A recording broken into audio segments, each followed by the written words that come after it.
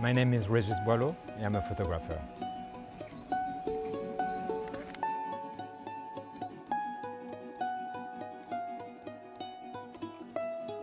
I will share my secret on how I took these photos.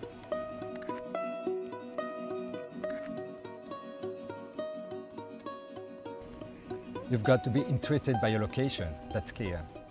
You've also got to know your kit and how to use it. And you've got to be able to tell a story in one single frame.